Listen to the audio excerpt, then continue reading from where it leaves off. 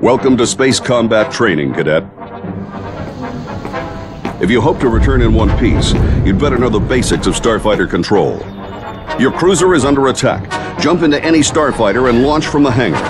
Use the throttle to accelerate through space, or to slow down as you approach a hangar. Time is of the essence, so all ships are equipped with a boost for a burst of speed. Don't let the enemy get away. Activate target tracking to follow their movements. They can run, but they can't hide. The distance indicator will tell you how far away the enemy is and whether they're above or below you. Clever pilots always lock on to the enemy. Missiles will seek a locked target.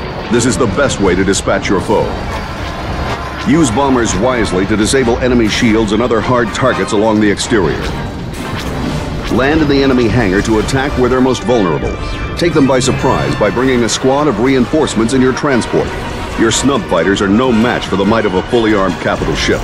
Crafty pilots will even the odds with a bit of sabotage.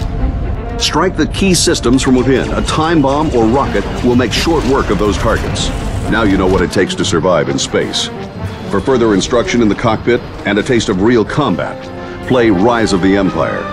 Good luck, Cadet, and may the Force be with you.